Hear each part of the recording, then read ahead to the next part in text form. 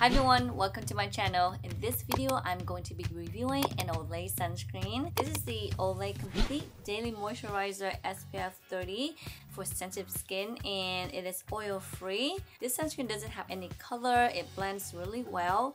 It doesn't have any fragrance and the white cat is going to be there especially with a second layer and it's pretty moisturizing so the finish is going to be on the oily side. For me this is an okay sunscreen because it has three chemicals in here and chemicals tend to or have a tendency to um, break down and can be really irritating especially to your eyes.